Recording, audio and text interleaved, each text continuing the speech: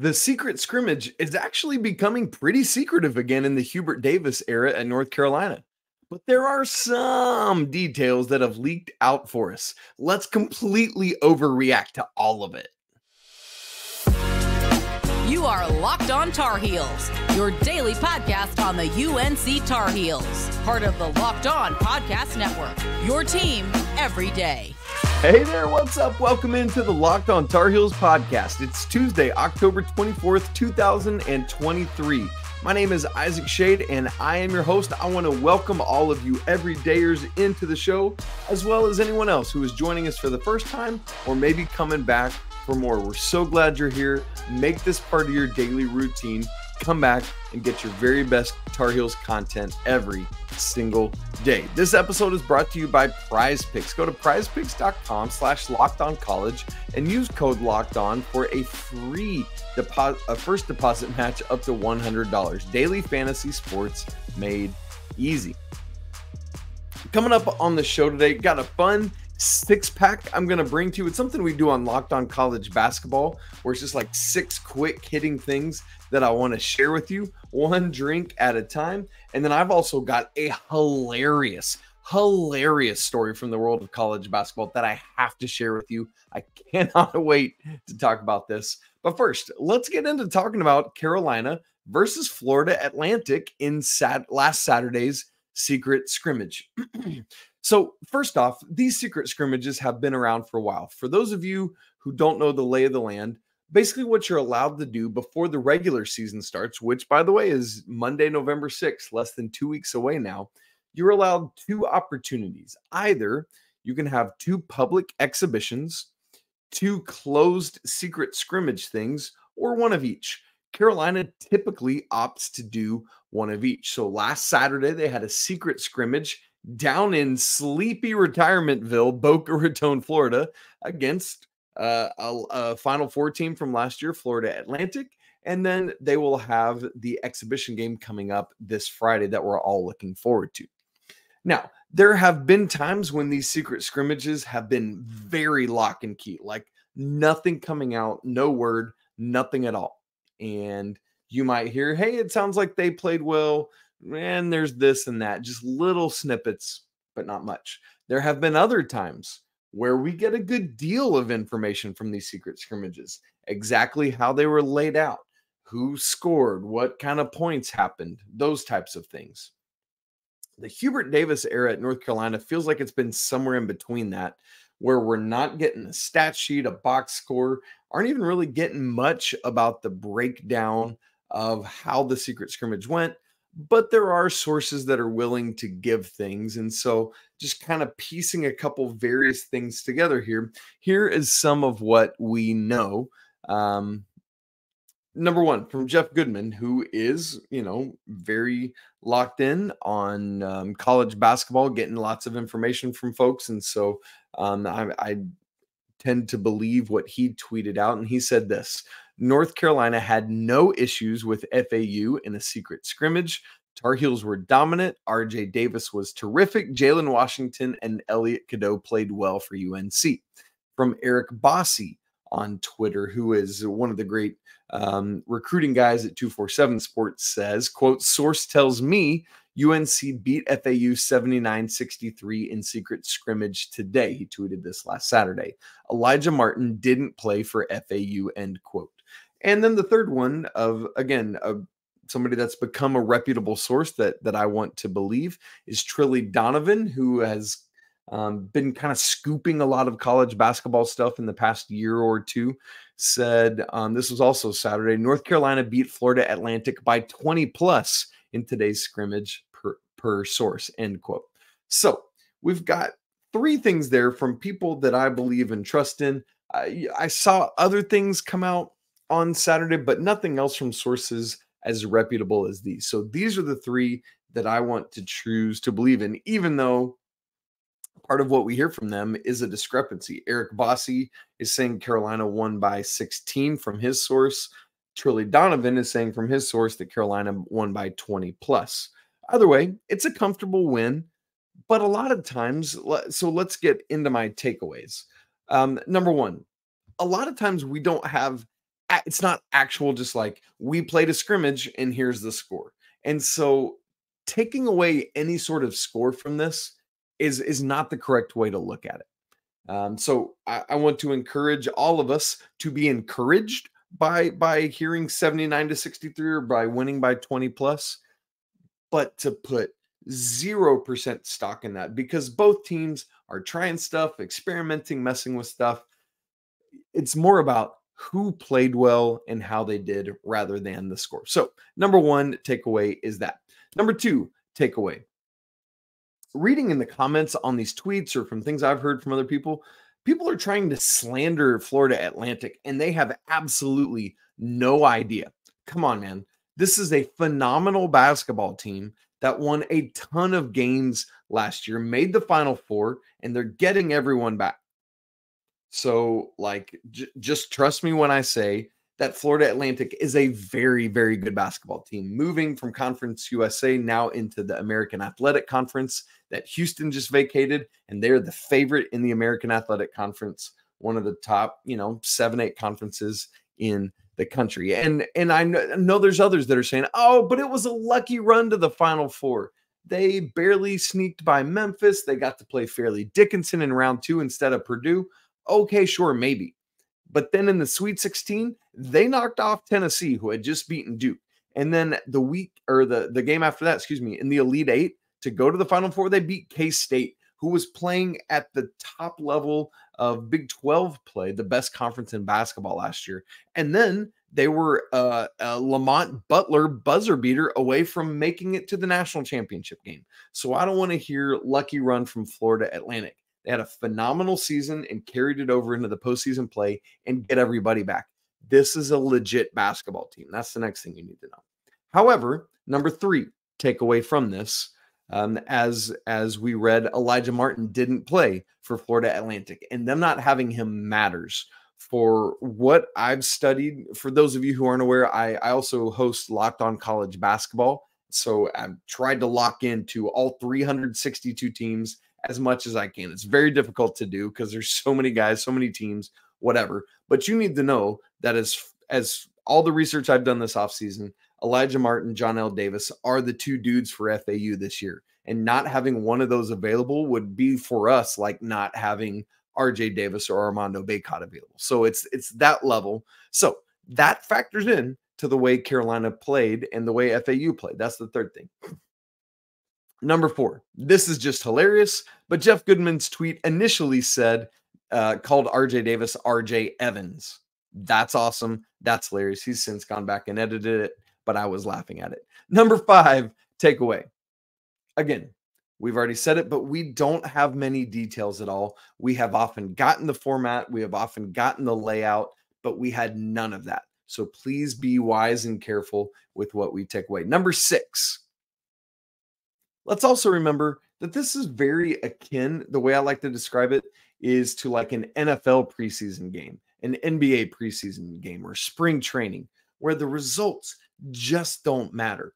Coaching staffs are, are doing this to look at guys, see who might fill out the roster, see who's going to get playing time, see who rises to the occasion, all of that kind of stuff. Uh, number seven, takeaways someone asked on Twitter, and someone had asked, actually asked me in our Discord channel, which come join the Locked On Tar Heels Discord. The link is in the show notes. Would love to have you there. About whether this is more about FAU being overrated or Carolina being underrated. Remember, um, FAU again made that Final Four, returns everyone, and, and is ranked higher than the Tar Heels are in the preseason rankings. I think they're 10th. Is that right in the preseason AP poll? Um, I don't remember off the top of my head, but as I'm talking, I'll look.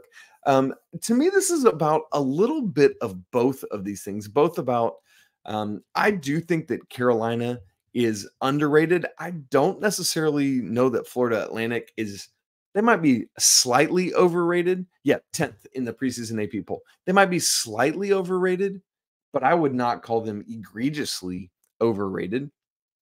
I believe that at worst, they're a top 15, top 20 team.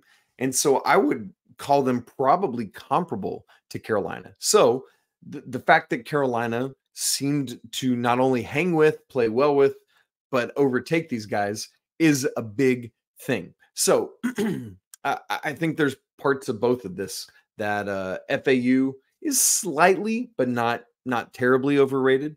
But I think that Carolina is more so underrated. We're going to learn that more as we get into the season. And then the last takeaway for me, and this is perhaps the biggest one.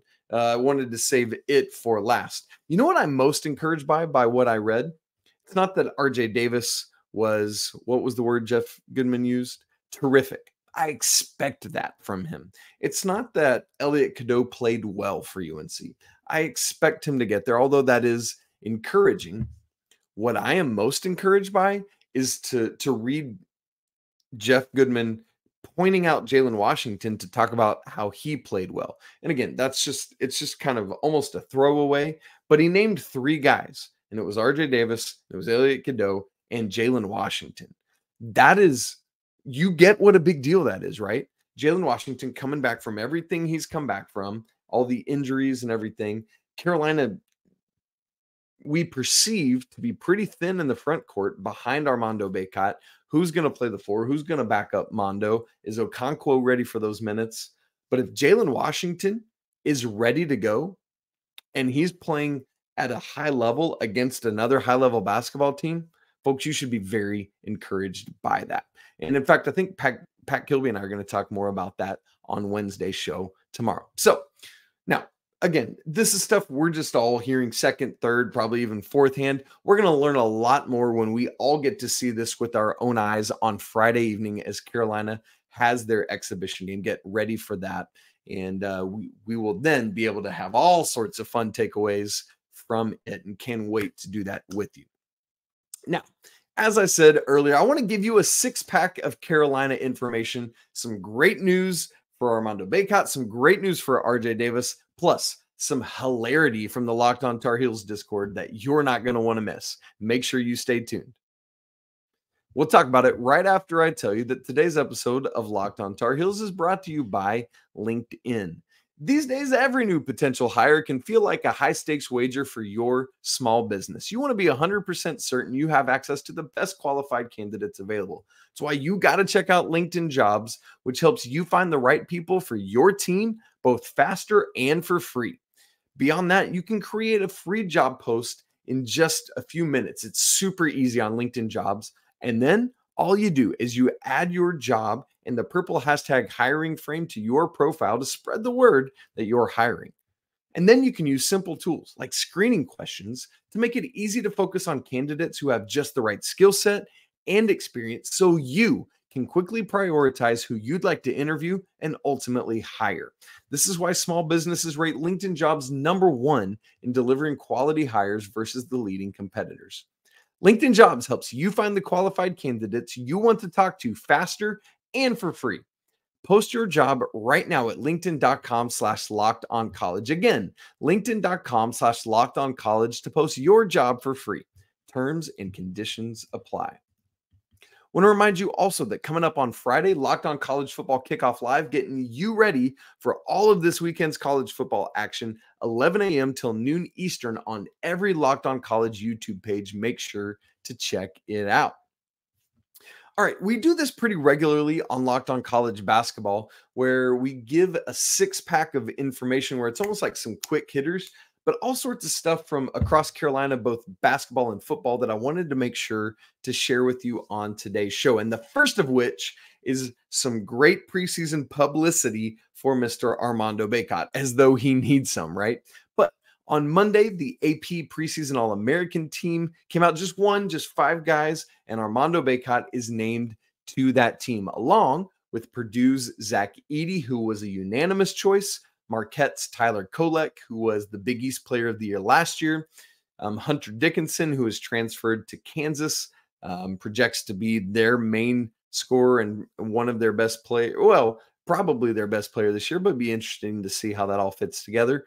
Duke's Kyle Filipowski returning to Durham, and then Armando Bacot. Now, there were no votes given, but the way they lay it out, it makes it seem like the order was Edey, again, a unanimous selection, then Kolek, Dickinson, Flip, and Armando Bacot. So for making the AP preseason first team All Americans. Um, secondly, though, yeah, actually, before I move on, I've always thought it's funny. You know how in this day and age, um, modern college basketball and, and modern basketball is often four around one. We got four guards of some variety around a big guy. I want to see a team like this because it's all big dudes, and Tyler Kolek is the only guard on this team. I want to see the flip flop of this, uh, where we have four big dudes and one guard. Kolek running the show with the one. You could have Kyle Filipowski at the two. Hunter Dickinson can shoot it a little bit. Let's have him at the three. Armando at the four, and Zach Edey, the big Canadian dude playing at Purdue, uh, as your five. I think that would be a hilarious team to watch play, and I want to see it happen. Next, number two in our six pack, and I'll take a drink as we do it. Oh man, needed that water. Preseason Bob Cousy list is out. This is looking for the best point guard in the country. They list 20 players preseason. It's just a watch list. Players can play their way onto it or off of the list as the season goes on. But what you need to know is that one of the names on this list is RJ Davis of North Carolina. There are 20 other players listed from around the country. I'm not going to read them all off right now, but there are some snubs that were shocking to me. I think that's almost what I want to more mention to you. Virginia's Reece Beekman, not on the list. Interestingly, from Duke, Tyrese Proctor is on the list, but Jeremy Roach is not. Um, if you keep up with with recruiting, you know that Isaiah Collier Collier, excuse me, is right at the top of the list for the class of 23. He was on the list from USC, but Boogie Ellis, their returning guy, fifth year player, like early favorite for Pac 12 player of the year, was not on this list. Some others, Max Abmas from Texas, who transferred from Oral Roberts to Texas. If you didn't know, yeah, he's there. He's on the list, but Tyrese Hunter's not. There's a whole bunch of other dudes really interesting to see. So we'll see what happens, but uh, I, I, could list off a whole thing, and and I will actually on today's episode of Locked On College Basketball. So if you want to hear the full list of who my snubs are, check that out. Number three in our six pack. Here's another sip of water. Um, I heard Jones Angell, the voice of the Tar Heels, both football and basketball, recently talking. Uh, he had received a question because you you probably caught it live action that Eric Montross had had said, and I think we probably all assumed this that he was not going to be able to do the radio broadcast this year because of his cancer.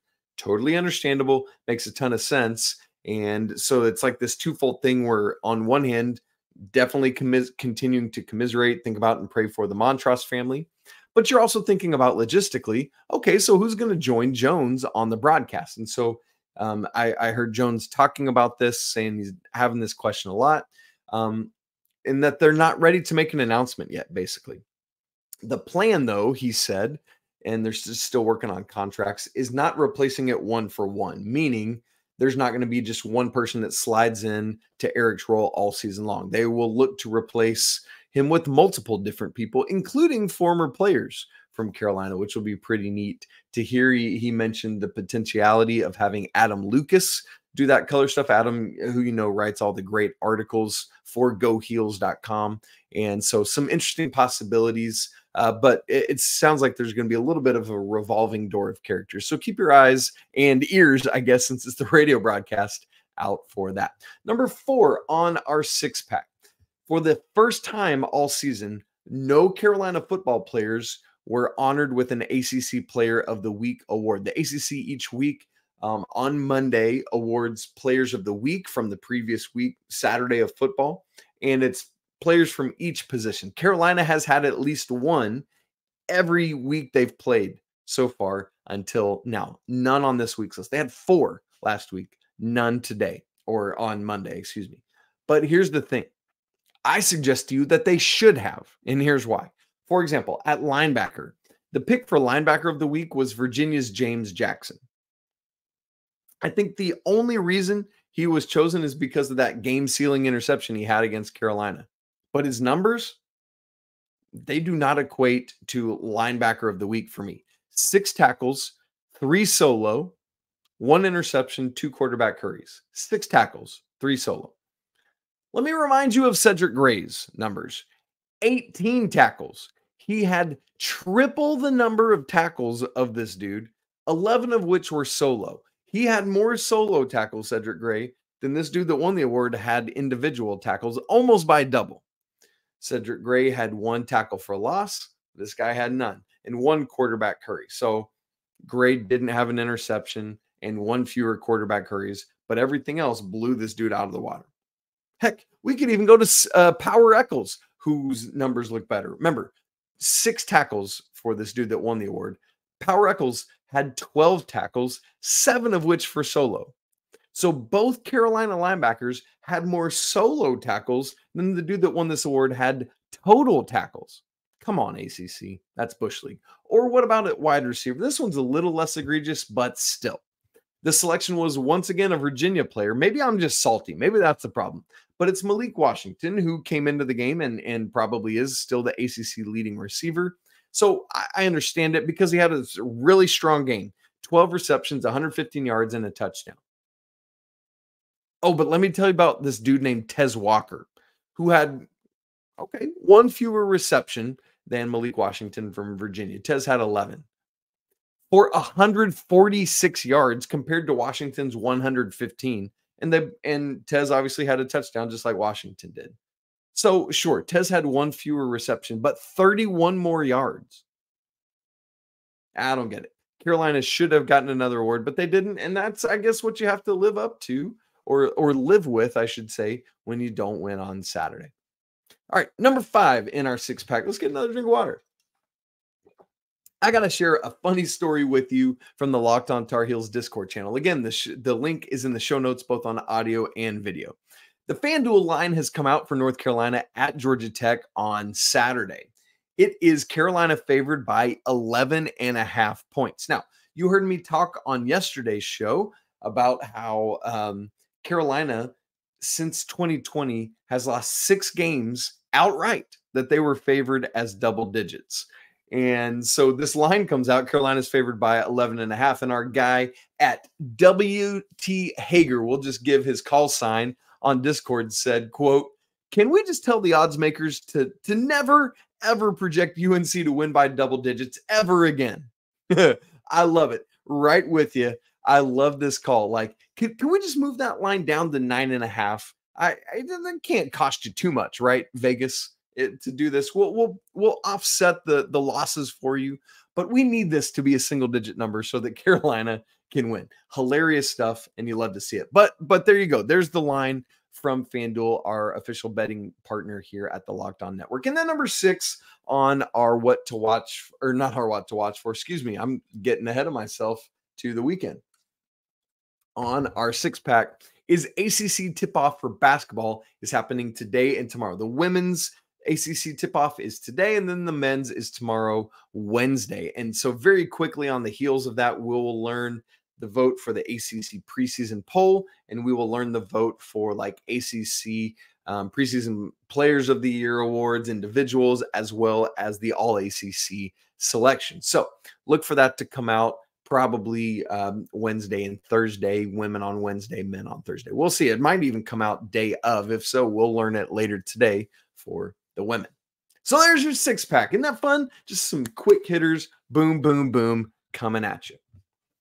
Well, friends, sometimes there are stories from the world of college athletics that are so wild and insane that I just have to share them with you, even if they aren't specifically related to Carolina. But we can appreciate this one because it's a young college student who was hungry and really wanted his Taco Bell. I will share this story with you in just a second. Right after I tell you that this episode of Locked on Tar Heels is brought to you by Prize Picks. Prize Picks offers weekly promotions that can lead to big payouts, like Taco Tuesday today. Prize Picks discounts select player projections up to 25% to provide you even more value. With the Prize Picks reboot policy, your entries stay in play even if one of your players gets injured. Prize Picks is the only daily fantasy sports platform with that injury insurance. And this thing is so easy to do. I, I love Prize Picks because they make it really user friendly. You just pick two or more players, you look at the projected stat given to you, and then just pick if you think that player is going to go more or less. For example, today the NBA kicks off. They've got Austin Reaves from the Lakers set at 15 and a half points. You all know how he's been blown up. I'm hitting the more on that. Go to prizepicks.com slash locked on college and use code locked on college for a first deposit match up to $100. Again, prizepicks.com slash locked on college. Use code locked on college for a first deposit match up to $100. Prize picks, daily fantasy sports made easy. Okay, you might remember the name Mackenzie Mgbako, and here's why. He was initially committed to Duke to be a freshman this year. He's class of 2023 elite college basketball player. Um, eventually decommitted from Duke right on the heels of Kyle Filipowski deciding to come back. Hmm, coincidence? No, absolutely not. So um, it came down to Indiana or Kansas. He ultimately committed to Indiana. And that's great because it led us to this wild story that I'm about to tell you. He was arrested over the weekend because he would not leave a Taco Bell in Bloomington, Indiana in the middle of the night. He was arrested for criminal trespass, a class A misdemeanor, and resisting law enforcement, another class A misdemeanor. It's obvious. Well, I mean, we're going to talk about in just a second why it's bad, but it is kind of hilarious because all over the internet, all over Twitter, people are calling this dude a hero because it's a terribly run Taco Bell, and they're all like, Mackenzie Mgbako is standing up for the people he's taking. I mean, it it's pretty ridiculous. But in all seriousness, homie, Mackenzie, what are you doing? I love, I love Taco Bell. It has been my guilty pleasure since college. My wife, too. It's less than a mile from my house. There will be times when we look at each other and we'll go, Taco Bell, Taco Bell. Put your order in the app, boom, go get. Like it's close enough where if I forget, if I get home and they forgot my nachos, I'm just going right back really quick to get it. Like that's what we're talking about. Less than a mile from my house. But Mackenzie, it's 2:15 in the morning. Yes, that's right. 2:15 a.m. in the morning. My man, you got to go home. They're doing you a favor, the, the employees and the police that were called to the scene by trying to send you home so you don't wake up however many hours later feeling awful from the Taco Bell you ate at 2:15 in the morning. Beyond that, you're one of the most prominent freshman college basketball players in the country at one of the most prominent schools in the country. And so, because of this, it's now a thing. Everyone, when they look up your name, they will see this. NBA franchises will ask you about this in the lead up to the draft. You just can't make mistakes like this. It's silly. So here, here's just a couple quotes from the write-up. Quote, according to the Bloomington Police Department, on Sunday at approximately 2:15 a.m., officers responded to Taco Bell at here's the address of on a report of a man refusing to leave the property. Upon arrival, officers were advised by Taco Bell management that they were refusing uh, to the man in a vehicle that allegedly cursed and was being, quote, rude to employees. Um, and then from the the further thing, I, I love this so much. Officers explained to Mgbako that he needed to leave the property and he refused to do so and kept the windows closed on his vehicle. At one point, here's the best. This is my favorite part. Mgbako began to drive out of the parking lot, but then reversed his vehicle and parked again in a parking space on Taco Bell property. He's so stubborn, he refuses to leave. Eventually, they keep trying to get him out they they go to get him out. He won't he won't roll down his window. They have to bust in his window to arrest him and take him in. This story is insane. But here we are. Taco bell wins and Baco loses. I think that's the moral. Do not mess with taco bell. They always win.